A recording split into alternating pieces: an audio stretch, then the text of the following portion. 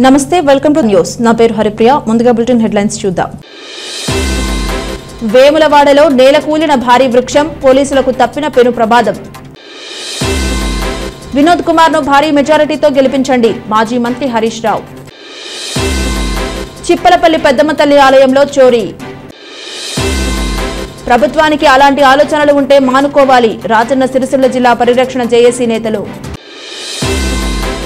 అధికారుల నిర్లక్ష్యంతోనే వరిగడ్డి దగ్ధం ఆవేదన వ్యక్తం చేస్తున్న పోత్గల్ రైతులు.